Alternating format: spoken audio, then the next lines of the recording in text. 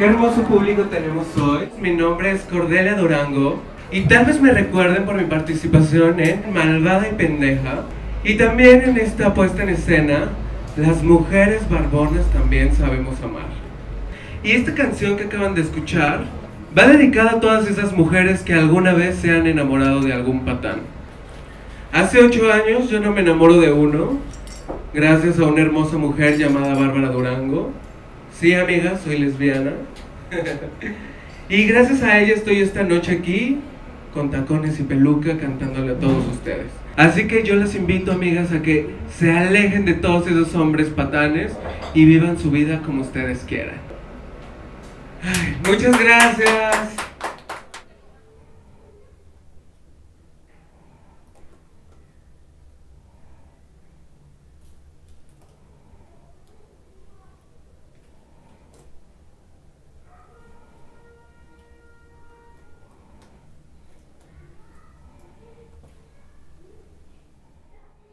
Yo diseño los vestuarios y los todos los looks que hacemos nosotros. Yo estudio diseño de modas. Para mí también el drag es una forma de, de emplear y de liberar toda la información que recibo.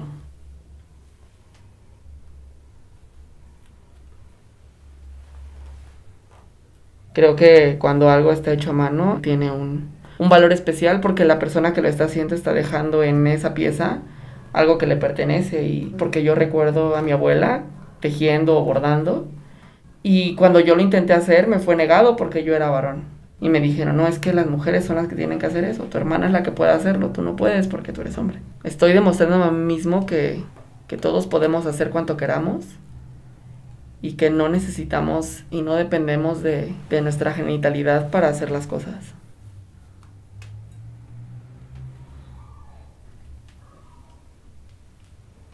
Yo no estoy seguro si, si los roles han sido impuestos por la sociedad. La sociedad los ha aceptado y ha sido utilizado esa forma de, de pensamiento para controlar y para someter. Por ejemplo, cuando las mujeres empezaron a utilizar pantalones, ¿no? que no se les permitía. Una mujer con pantalones era algo escandaloso. Espero y aspiro a que en algún futuro el travestismo sea considerado como algo más, que no sea extravagante. Y no me refiero a la apariencia, me refiero a, a la reacción.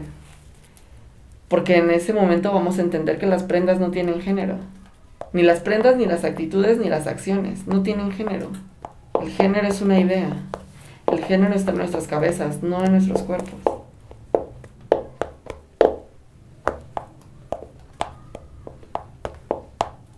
Tenemos la capacidad, el derecho y la obligación de decidir sobre nuestros cuerpos.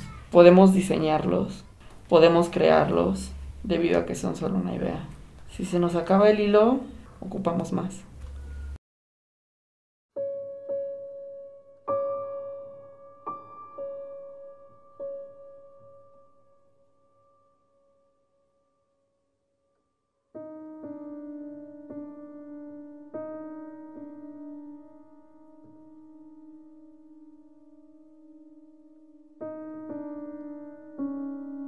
Yo no vi nunca, ¿no? Entonces, en ese sentido, para mí sí es un reto poder entender qué es eso, qué es eso de ver, ¿no?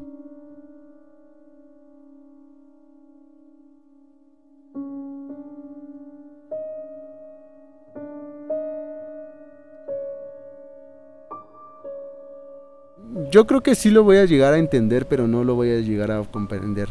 Tal vez eh, lo voy a entender desde un sentido teórico práctico para hacer que una imagen tenga más espesor o más composición, pero no estoy seguro de, de llegar a entender qué es la luz. Sé que es una cosa importante dentro del proceso de la foto porque la foto es luz. Es una cosa que devora luz y que tienes que saber matizarla yo creo que la luz es lo que le da la composición a las cosas. Al final del día yo creo que es importante porque si no, ni tú me podías contar cómo son las cosas, ni yo las podría entender. No, no había como una forma.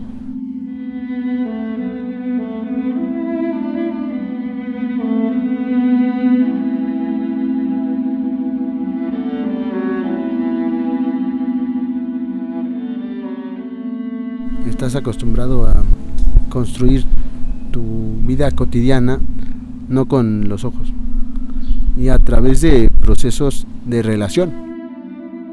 Yo no puedo tocar la punta del árbol que está aquí enfrente porque no tenemos una super escalera, ¿no? Entonces siempre tengo que usar una relación entre algo que sí pude tocar, como una maqueta, como algo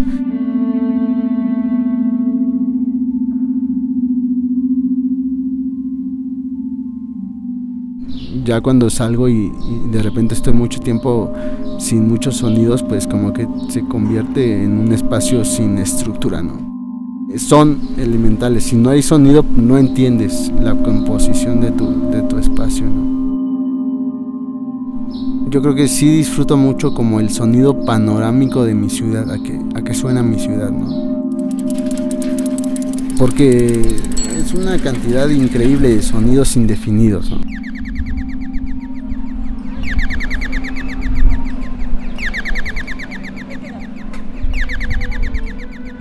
La ciudad va como dirigiendo su construcción a lo visual, también las, las tecnologías adaptadas van dirigidas hacia el oído.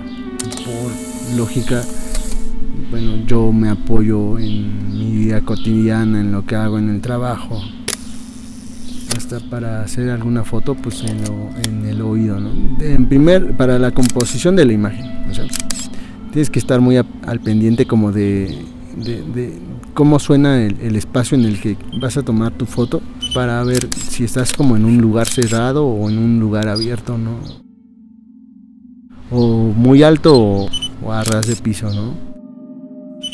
Después pues, pues bueno, como no puedes controlar como el obturador o el proceso de dar el flash con la vista, eh, tienes que estar como muy atento a qué suena la cámara. La velocidad con la que el obturador abra, pues te, va a dar como respuesta si el lugar tiene mucha o poca luz. Entonces sí, ahí sí se convierte en un factor bien importante el oído.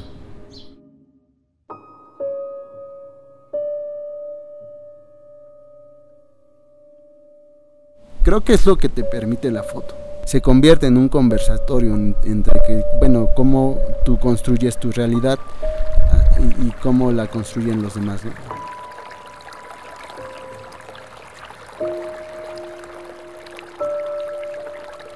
Objeto metropolitano está como sumergido dentro de su propia locura y si no estuviera loco no podría vivir como en un sentido como de anonimato en esta ciudad.